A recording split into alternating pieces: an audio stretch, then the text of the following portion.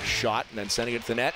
And Afanasyev will score his first in front of the net.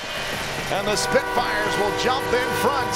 Here's a guy that comes in, highly touted, second round pick of the Nashville Predators. He's on the doorstep, big body, tough to move. He gets fights for position.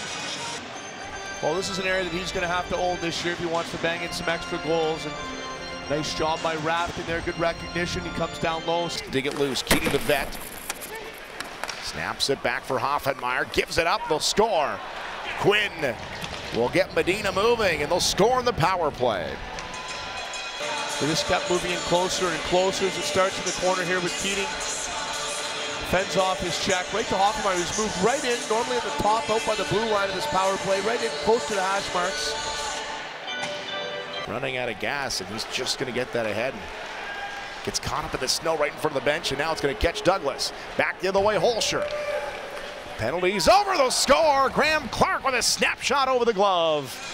Stopped on the bench right here, just gets caught up and quickly.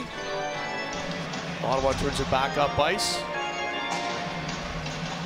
And Clarke makes no mistake, steps into that, snaps it top glove as Ottawa takes a 2-1 lead. Skating it is Dylan Robinson.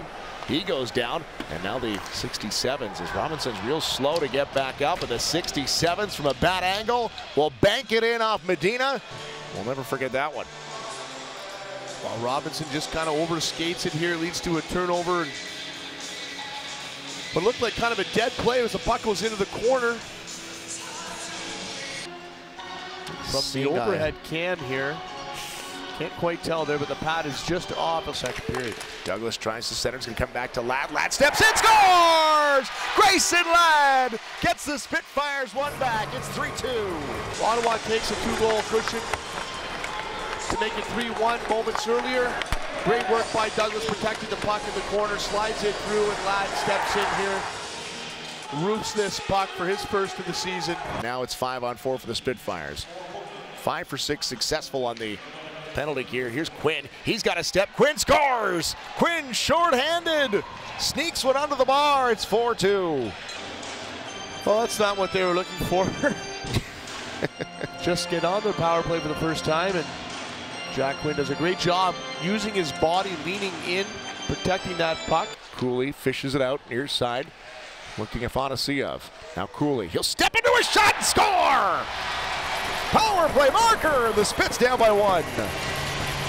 He's a goal scorer. We saw that demonstrated last year in his rookie season in the Ontario Hockey League.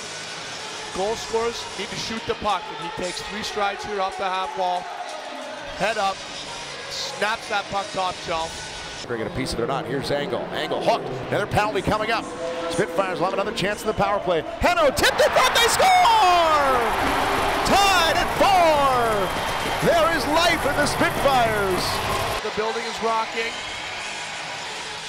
Henault just keeps that puck in the zone on the delayed call.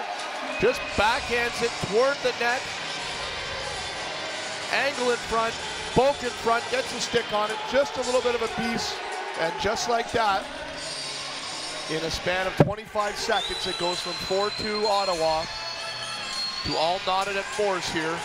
Ball is out of the box. Ball and a breakaway. Has to dive and he can't get a piece of it. And all the way back to stop Miss Purbu.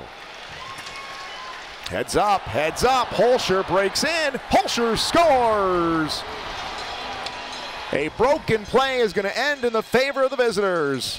Ball started with Hoefenmayer getting the puck ahead to Ball, and then Ball just stayed on the forecheck. Well, anytime you've got a player coming out of the box, especially when it's on a four-on-four 4 situation, it can be dangerous. And just an unfortunate turn of event there. Well, not the way the Spitfires wanted to end it, but that's how it'll end here tonight. Their first loss on the home ice, a 5-4 OT loss.